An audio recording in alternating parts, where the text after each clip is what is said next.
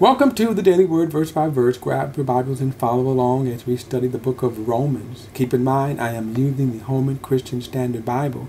So if you're using a different translation, the read is different, but the message is the same. Also, keep in mind that these Daily Word, verse by verse studies are uploaded to my YouTube channel, BP the Bible Perspective. That's BP the Bible Perspective. So like and share these videos and subscribe to BP the Bible Perspective YouTube channel.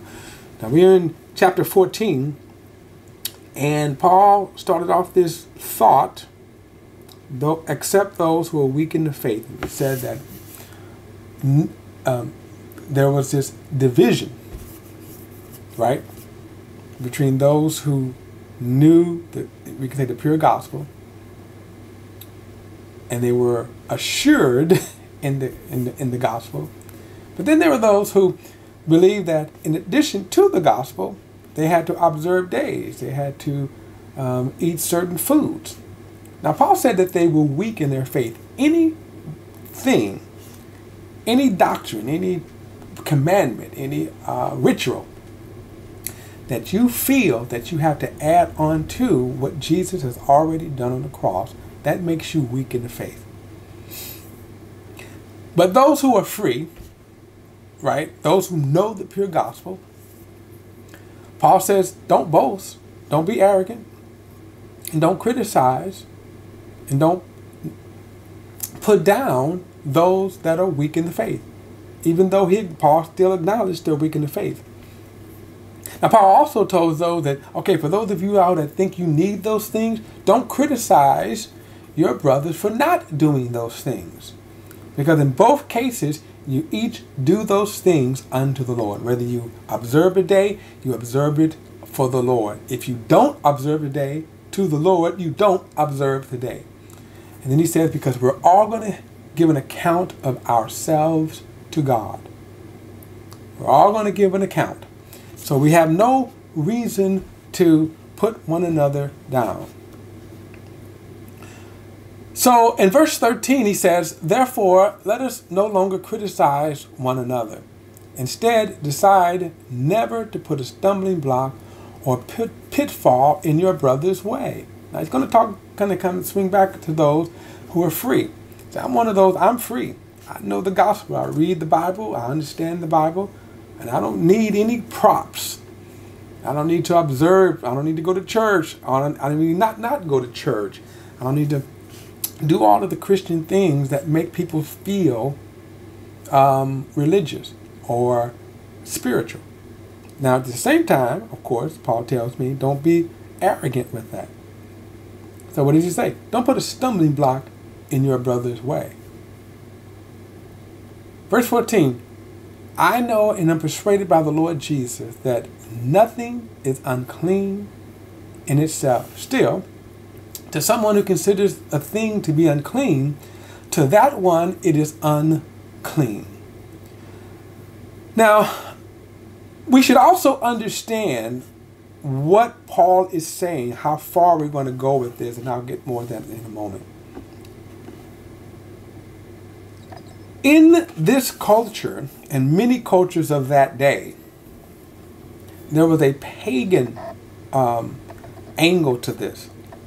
So what Paul is referring to is not so much as somebody doesn't like your healthy eating or lack thereof. In other words, you have people who are uh, into health food, so yeah, they're going to criticize you uh, for uh, not eating healthy. That's not what he's talking about. But there were people that um, who came out of a pagan culture, and so the food, you know, and this is where Paul's going to go with this Let's say you're eating a T-bone steak and you know that that steak, that meat was dedicated to a pagan god. Now here's a person who believes that you shouldn't eat any meat for that reason. But now I'm free. I know it's just a steak. Now Paul just said right here that nothing is unclean unto himself. But there are people then who hold to that. And the law itself, remember, gave a whole list of what is clean and unclean animals and insects to eat. But now under Christ, we know we're free. I'm free. I can eat some pork. I can eat some grasshoppers. I can eat whatever, right? I'm free. In addition to that, there are those in who were bound in pagan worship, pagan ritual. So what do you do about those, right? Those who are bound in pagan ritual and bound in and and and they would see that. keep that in mind. That's what he's referring to now. So if you have a person that's come out of a Jewish background and they see you eating pork, or they see you coming out, of, they see you going to the market and you pick up some meat that's dedicated to this God, it it caused some people to have a stumbling block, and that's what he's referring to here. So verse 15 says, "For if your brother is hurt by what you eat, you are no longer walking according to love." Don't do not destroy that one Christ died for by what you eat. Therefore, don't let your good be slandered. Now, see, this is the context that this verse is saying here. So, I mean, this pork chops, right? I got this pork chop, and I know my brother is going to be highly upset over that, right? Whether it's my Jewish brother, maybe the same pork chop, right? I say I got a pork chop. So on one hand, I got a Jewish brother that he's he's familiar with the Old Testament law, and then I got another brother who's come out of the temple. He knows, hey, that that pork chop was dedicated to a pagan god. Either way, he says, don't hurt your brother with that. If you think your brother is going to slander. Now, Paul is going to Paul is going to give us some principles as to where the dividing line comes in that. Because if that's the case, how far do I go with not causing my brother to stumble over anything I do, right? Because a person may say, well, you're wearing your hair too short. If I think it's too short, is it going to stumble? That's not what Paul is talking. That's not the extreme that he's talking about either. So he says, "Do not let your good be slandered." Verse 17. For the kingdom of God, for the kingdom of God is not eating or drinking these rituals, but righteousness, peace, joy in the Holy Spirit. What was our righteousness? What is peace and what is joy? All these things, this is what Christ really did for us. And these are the things we should be building our lives upon. Verse 18 Whoever serves Christ in this way is acceptable to God and approved by men. Meaning what? What makes for the, the righteousness of God, not the righteousness of men, or peace, the peace that God has between us, that Jesus Christ provided for us on the cross, and then the joy of the Lord. Verse 19. So then, we must pursue what promotes peace and what builds up one another. Right here becomes, right here becomes the principle. How do I know how far to go? How do I know? I may say, look, brother, you got a problem, that's your problem. And I'm serious. How do I know to do that? Now, remember, there are very specific instances where me eating a certain kind of meat could make someone fall. Paul says, take that in consideration. But if that's the case, then just because somebody doesn't, they don't think that I should drink soda pop, okay, how far do I go with that? Here it is. What promotes peace and what builds up one another. In other words, I'm not going to invite you over to my house if I know that you have a problem with pork. Don't eat pork for the night. That's what he's saying. Verse 20 Do not tear down God's work because of food. In other words, build up that brother. Sometimes you may have to sustain while you feeding that person the word of God until they get free. Everything, everything is clean, but it is wrong for the man to cause stumbling by what he eats. In other words, you force somebody to do that. If you force somebody to, to get all upset over your way. Verse 21 It is a noble thing not to eat meat or drink wine. Think about that. Ooh.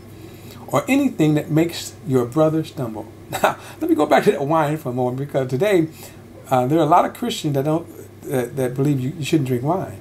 And by the way, I'm not saying that because I drink wine. I have never drunk wine. I have never smoked. So I'm not saying these things because I do these things.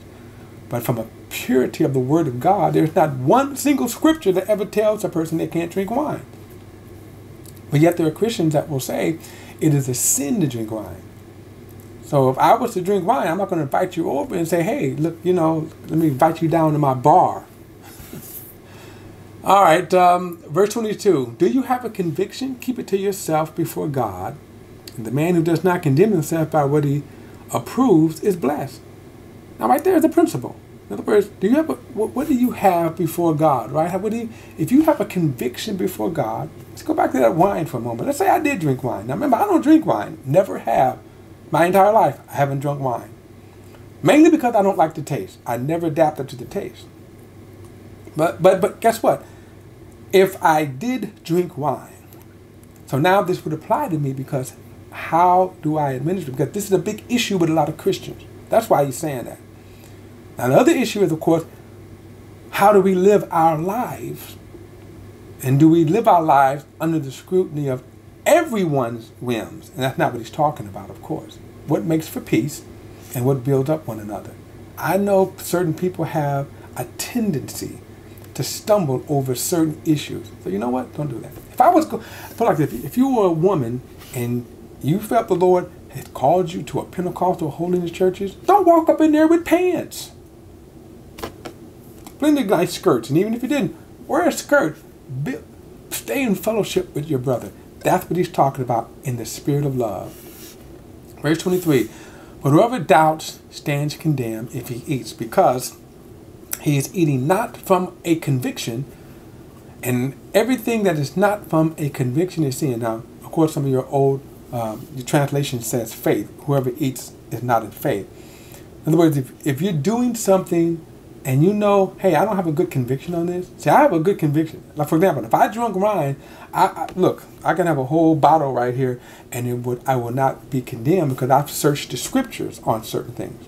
I've searched the scriptures, you know, and that's what he was referring to. I can say before God, this is not wrong. I often say this sometimes that sometimes people are repenting for sins, not from God's sins, but from man's sins. So um, he's going to continue this as we move over into chapter 15. The same thought, he's going to continue this. All right, so uh, we'll pick it up in uh, chapter 15 in the next video. I'll see you then.